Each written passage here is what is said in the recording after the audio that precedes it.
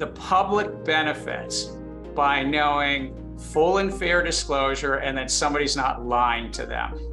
You know, basic protections.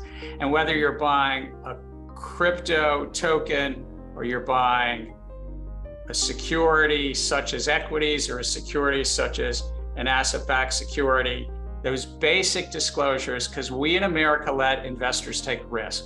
You get to decide what risk you want to take, but the person raising the money and selling you those uh, financial assets ought to not defraud you, ought to give you the information so you can make your decisions.